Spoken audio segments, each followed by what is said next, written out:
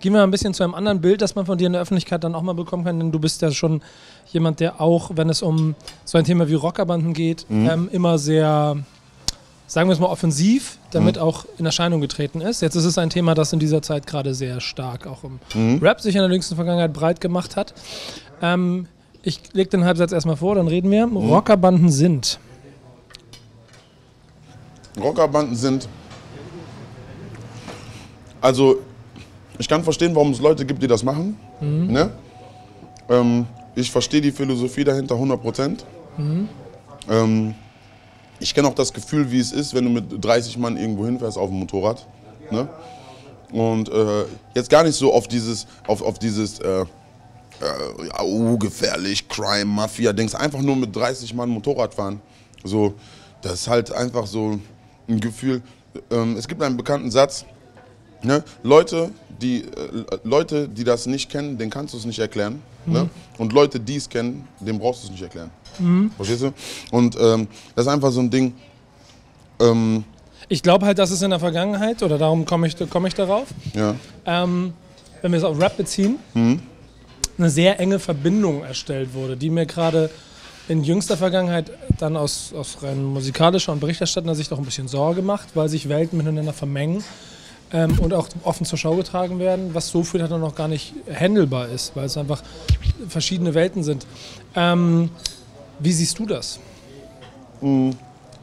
Beiß erstmal in Ruhe ab, die dürfen nicht kalt werden. Sie sehen auch sehr lecker aus, übrigens, muss ich an dieser. Stelle betonen. betonen. Guck mal, ich sag das so. So unterschiedlich, so unterschiedlich sind die Welten eigentlich gar nicht.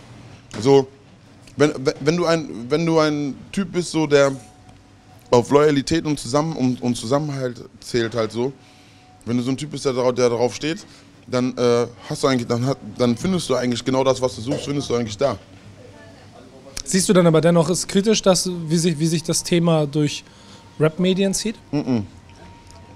Es ist ja nur so, dass irgendwelche Schwanzrapper sich irgendwelche Leute im Hintergrund stellen und sich dabei cool vorkommen. Also weißt du, was ich meine? Ja. Ja, das ist aber das Problem der Rapper, weil, das weil die Rapper alle Schwänze sind. So, aber das Ding ist, diese Leute, die du halt in so Rockerclubs findest, das sind am Ende des Tages ganz normale Leute wie du und ich auch. So, und glaub mir, ich sage das, jetzt nicht- ich sag das jetzt nicht nur so, damit, ähm, damit ich jetzt irgendwas hier äh, verschleiern will oder so. Die Leute sind ganz normale Leute wie jeder andere auch. Da gibt es Ärzte, Anwälte, Arbeitslose, Hartz-IVer, reiche Leute. So wie aus jeder Schicht sind die Leute da und die treffen sich aus einem Grund. Die teilen eine Lebensphilosophie. Genauso wie die Hip-Hop-Community sich auf dem, auf dem äh, Splash trifft und äh, zelten für drei Tage lang äh, saufen, spliffen und Musik feiern, so wie die das fühlen, feiern die das einfach, von Stadt zu Land, von Land zu Kontinent zu fahren, ihre Brüder zu besuchen und einfach ihre Freundschaft mit, mit dem Rückenpatch zu, äh, äh, zu äh, symbolisieren. Verstehst du, was ich meine? Da, da ist gar kein großer Clou dahinter oder so. Und es ist keine schlechte Signalwirkung, wenn damit kokettiert wird im Rap. Für Es- die User, es ist- Fans, Es Hörer. eine, es ist eine schlechte Signalwirkung, wenn die Leute, ähm, die, wenn, wenn die Leute so dargestellt werden, nach dem Motto, ja, guck mal, hier, ich bin jetzt mit denen und das sind so viele und mir kann jetzt keiner was. Wenn die, wenn die dafür ausgenutzt werden, ne, dann ist es schlecht. Das liegt aber dann nicht an den Leuten, sondern das liegt an den Leuten, die sich den Plan so in ihrem Kopf zurecht, äh, zurechtgelegt haben. Verstehst du, was ich meine? Ja, auf jeden Fall. Ich denke, damit können wir es da an der Stelle auch bewandeln lassen. Wir gehen zum nächsten Halbsatz. Ähm, Deutschland wird.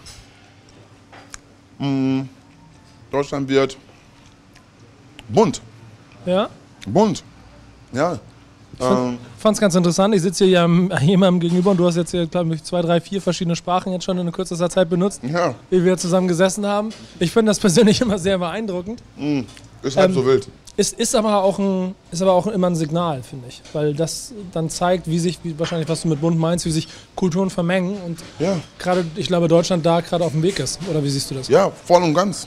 Voll und ganz. Damals, äh, damals war es so, dass, ähm, dass äh, äh, Türk, äh, Türke hat mit Türkin geheiratet. Ne? Araber hat mit Araber geheiratet, Deutsch mit Deutsch geheiratet.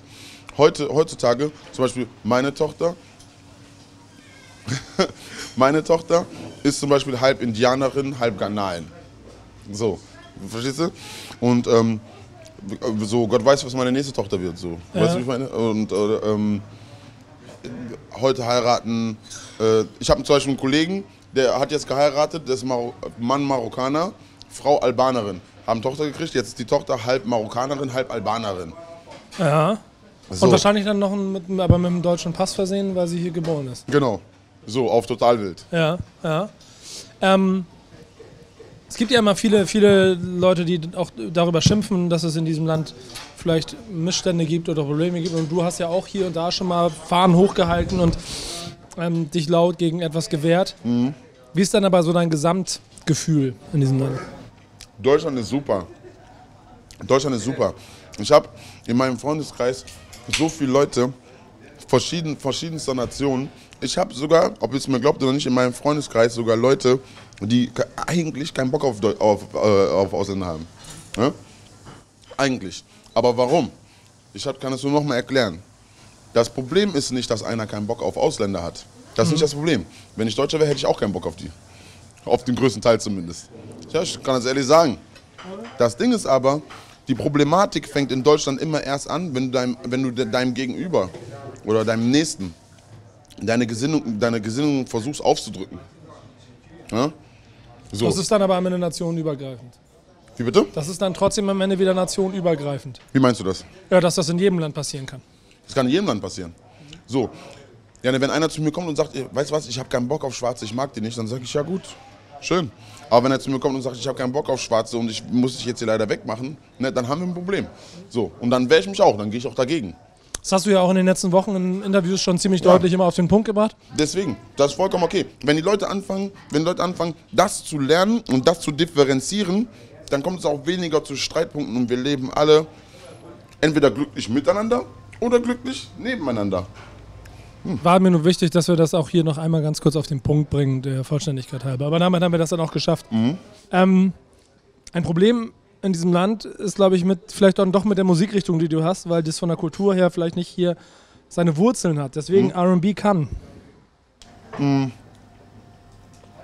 RB kann die größte Musikrichtung werden, die Deutschland jemals erlebt hat. Kann. Ne? Kann. Wohlgemerkt. Kann. Habe ich bewusst auch so gewählt, weil ich glaube, es ist ein weiter Weg. Sehr weiter Weg, aber ist machbar. Also ich habe auf jeden Fall schon, was R&B angeht, habe ich auf jeden Fall schon einen dicken Stein gelegt, so ohne mir jetzt selber auf die Schulter zu klopfen. Auf jeden Fall die Leute, die Leute haben das auf jeden Fall auf dem Schirm. Und R&B ist halt die perfekte Mischung so aus Hip-Hop, was die Leute sowieso alle schon hören und seit Jahren feiern. Es ist eine Mischung aus diesen, wenn Leute auf, auf Melodien und auf Gesang stehen, werden die da bedient. So R&B bringt, bringt, bringt immer so eine gewisse, so eine gewisse, Se- äh, so eine, so eine gewisse Sexiness mit. Ja. So, so R&B für mich persönlich ist so R&B, Soul, all sowas kann für mich so groß wie, also das ist jetzt wirklich groß gegriffen so, aber kann für mich so groß wie Rock'n'Roll werden. Weil viele Einflüsse aus, aus dem Rock'n'Roll sind, sind aus der Soulmusik. Glaubst du, dass da die kulturelle Vermengung in diesem Land da sein Übliches dazu beiträgt, dass es in der Zukunft automatisch wirken kann? Ja, das ist sehr wichtig. Ja. Das ist sehr wichtig, weil RB hat ja, sehr- hat ja sehr viel mit Emotionen und Gefühl zu tun. Und wenn du nach anderen Ländern guckst, zum Beispiel nach Türkei oder in die arabischen Länder, die Songs da haben auch sehr viel mit, mit Emotionen zu tun. Und ich glaube, wenn du ein Boys to Man, wenn du, wenn du zum Beispiel einem Araber einen Boys to Man Song, einen Boys to Man Song äh, zeigst, findet der sich darin wahrscheinlich eher wieder, anstatt äh, in einem ähm, Herbert Grönemeyer Song. Das definitiv. So, und deswegen äh, glaube ich, dass wir eine größere Zuhörerschaft haben könnten für R&B. Zumal auf jeder R&B-Party zu 90% Ausländeranteil ist. Bleibt die Frage, ob du das alles noch erleben wirst. Der nächste ähm, Moment dafür ist aber auf jeden Fall das kommende Album. Backspin.